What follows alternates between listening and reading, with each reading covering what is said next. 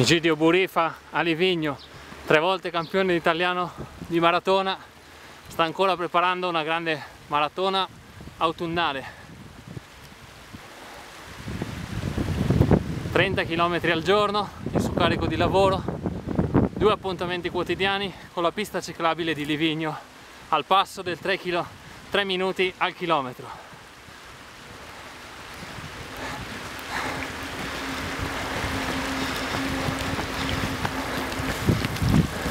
Quanto stiamo andando adesso, amici Dio? 3.35, 3.40.